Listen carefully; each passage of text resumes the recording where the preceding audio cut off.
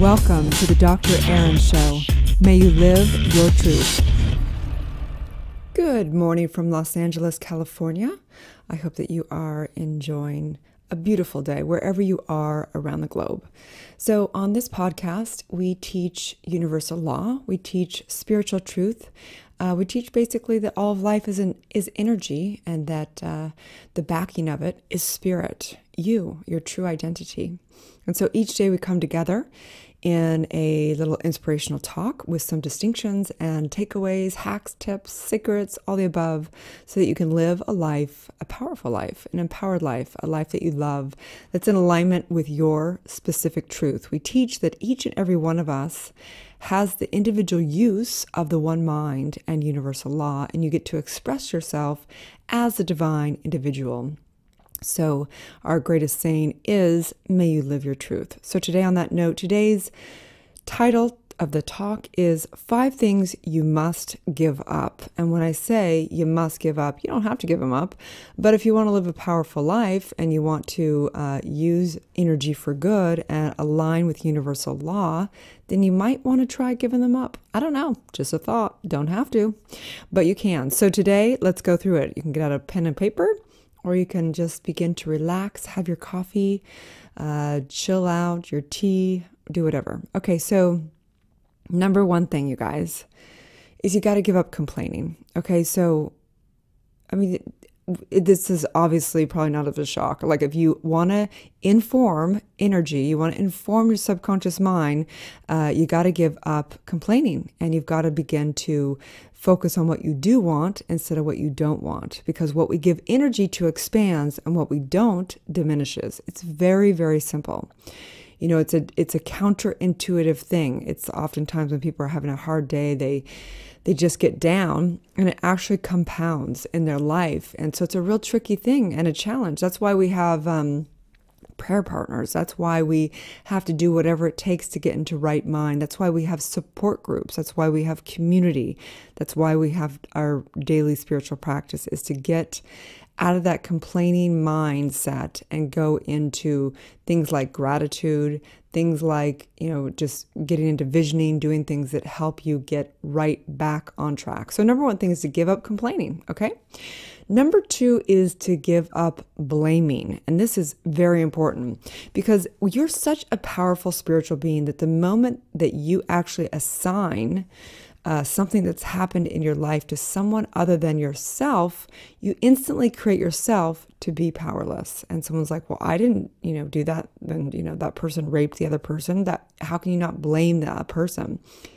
It's not about not having other people accountable and knowing you know if you how deep you want to go right? The truth is that we're all one that whatever's happening in our culture is really the outpicture of what's happening at a collective level. But even that okay let's just say someone's been raped or someone has been sexually assaulted or something like that it's not that we don't say oh that must be my fault. I look slutty therefore it happened to me. No it's just we have people we hold them accountable but we don't blame them in that right now in this present moment we have to take 100% responsibility of realizing that at some core level we've called this in to actually be a voice for the movement. We've called it in for us to basically step into our power to hold somebody accountable, to do whatever it is. But if you don't take 100% responsibility for your life, for your happiness, for your wellness, for your everything, then you are basically assigning something outside of yourself. So I'm not saying you take on the responsibility if you were raped, but I'm saying that you take on 100% responsibility to do what it takes right now to live a great life, to live and heal and do whatever it is to get in right mind, okay? Number three is you got to give up excuses. You got to give up excuses, okay? Um, again, assigning power to a thing, a circumstance, or an event instantaneously creates you as powerless. That's how the universal law works. That's how powerful you are. So if you have excuses of why you can't do things, why you can't fulfill your dreams, why you can't have love, why you can't eat well, why blah, blah, blah, blah, right? These are excuses. These are basically you giving power to traffic, to giving uh, uh, power over to your boss, to giving power over to the weather, to giving power over to the economy, to whatever that is, and making yourself, you're basically saying to yourself at a subconscious level and informing universal law that you are not as powerful as that. And instantaneously, you experience yourself not being as powerful as that. So be careful how you use your words and what you believe, okay? Number four, you got to give up self doubt. And this is one of the most advanced things. And this is, can take lifetimes, right? So, giving up self doubt, we all want confidence. We all want to believe in ourselves. But if you want to truly live a powerful life, have a life that you love, be almighty that you are, you've got to give up self doubt. And you inform your subconscious and universal law by your beliefs. So you are such a powerful spiritual being that the moment you consider yourself not being almighty and powerful is the moment you experience yourself as that. So if you don't believe, if you how do you expect anyone else to believe in you? How do you expect for any of your dreams to come about if you can't believe in yourself? If you can't be your own best friend, then then forget all these aspirations of these dreams, why don't you try just being your own best friend for the day and not doubting yourself today, not doubting and loving yourself fully exactly as you are. So, if we want to change, we have to first not resist what is there. So, that all comes down to the self doubt. Okay. So, number five, five things you got to give up. Number five is attachment. You can't have attachment to the outcome or attachment to how things manifest in your life. We call this outlining in the New Thought movement. We call this outlining. So if you try and control every little thing that happens an attachment to how relationships can go how um, how your dreams are going to show up how the right circumstances is going to show up you're never going to allow for the universe to deliver things uh, even better. They may the universe might want to deliver you something even better than you ever imagined. They want it may want to deliver the perfect partner that's even completely different than how you imagined, but but you know a hundredfold better for you. So I think it's important to know that attachment.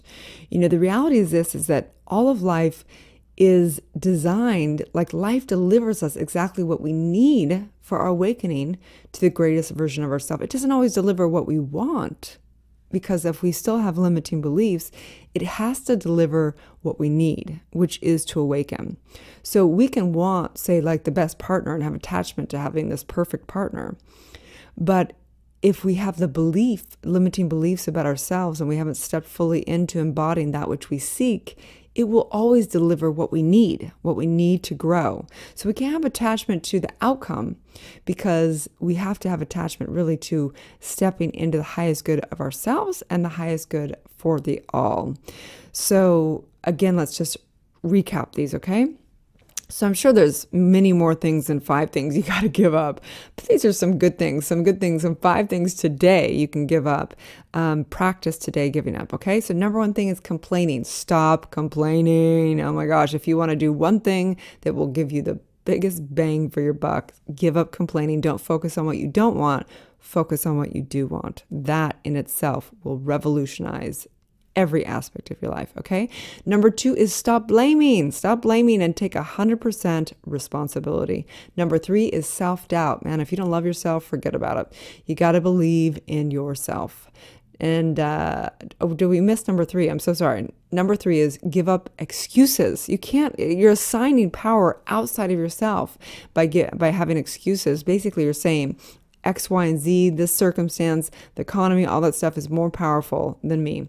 So, again, number four is self doubt. Got to give up self doubt. Got to begin to believe in thyself. And number five is giving up attachment allow for something to come in even greater.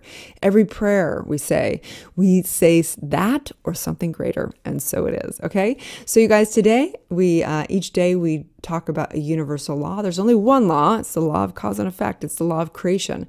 But each day we talk about a distinction. So today um, is the law of polarity because this law of polarity is set in motion by spirit, your higher self, your true self, contemplating its own identity.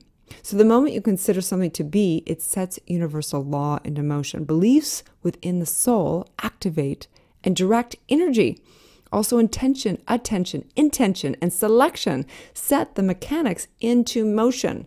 So, it's so important that even when you consider complaining, you consider blaming, you consider self doubt, you consider all these things, you set everything in motion, okay? So today's daily spiritual practice is living in faith, knowing that anything that you truly desire and that you totally will embody with total certainty and extraordinary action is your destiny. And then today's challenge, because life is a game, we're, we're in this incredible advanced game.